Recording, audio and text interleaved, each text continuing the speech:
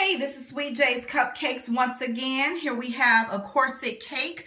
The customer's request was to have it decorated in black and white uh, with the polka dots and also to have two paw prints on the breast. Everything that you see is edible. We have the bowls as a part of the lingerie.